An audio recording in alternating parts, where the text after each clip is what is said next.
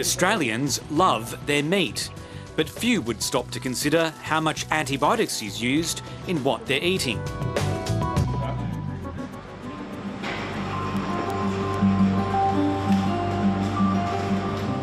The use of antibiotics in food supplies worries ethical butcher Laura Dalrymple.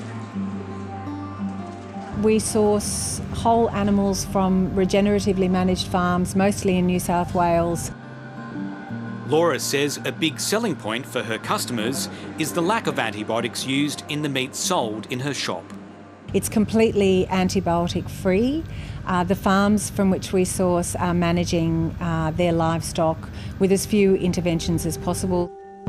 According to Australia's regulator, antibiotics are used on livestock to treat infection and sometimes to promote growth. It's this use on healthy animals which is of most concern because it could give rise to resistant bacteria. Superbugs are a problem that's getting worse globally. In Australia, we're still better off than most of the rest of the world, but if we want to stay that way, we've got to decrease antibiotic use both in people and in animals. The World Health Organization has listed antibiotic or antimicrobial resistance as one of the top 10 global health threats facing humanity. Consequences of too many superbugs or more and more superbugs coming to people from whatever direction means we have more deaths and more suffering. And if those antibiotics, if those are reduced in their in their efficacy, then we will end up with all sorts of new and more problematic um, animal diseases. New research provided to 730 has some scientists worried about the presence of antibiotic resistant bacteria in Australia's meat supplies. Researchers at the University of Canberra were commissioned by Animals Australia to test meat samples from Australian supermarkets. In total, we collected 404 meat samples, so 244 chicken and 160 pork samples.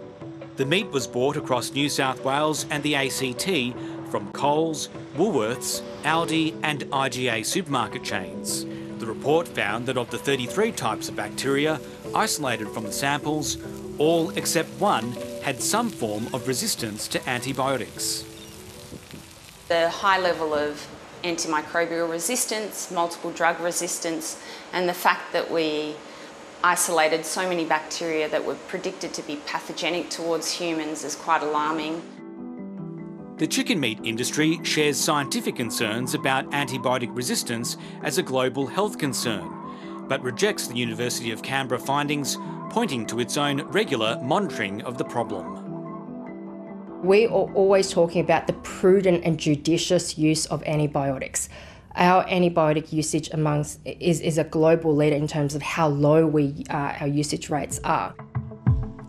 The industry says its own studies funded by the federal government show a decrease in antibiotic resistance in chicken meat. Antimicrobial resistance has actually tracked down from the last survey that was undertaken in 2016. So the antimicrobial resistance levels that are being detected is actually lower. The Federal Agriculture Department has questioned the University of Canberra report, telling 730 some of the bacteria tested already had a level of resistance. It is therefore not correct to suggest that all the resistance documented is the result of antibiotic use. The researchers say the government's position is inaccurate and stand by their report. Despite industry and government assurances, infectious diseases expert Professor Peter Collignon says there needs to be more transparency on how antibiotics are used in the food supply chain. Both resistant bacteria and the genes that allow other bacteria to become resistant are there in the food that we buy in supermarkets in Australia. It is still lower than most other areas of the world. And if we want to better control this, and keep Australia relatively lower than the rest of the world with superbugs in our food chain, we need more information and we need more activity. Industry and experts agree that effective cooking processes will kill bacteria. Correct food preparation will decrease your risk, uh, but by the same token, you can, can't stop all cross contamination.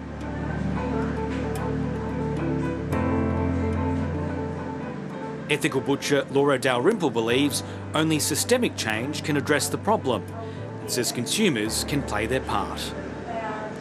If we all hold our retailers and the people who are delivering our food to us to account and insist that they provide information about where their food comes from, how it's grown, how it was produced, what kind of systems it came out of, and how long was the supply chain that it took to get to us. If we all do that, then I think we will all play a role in, in making a difference.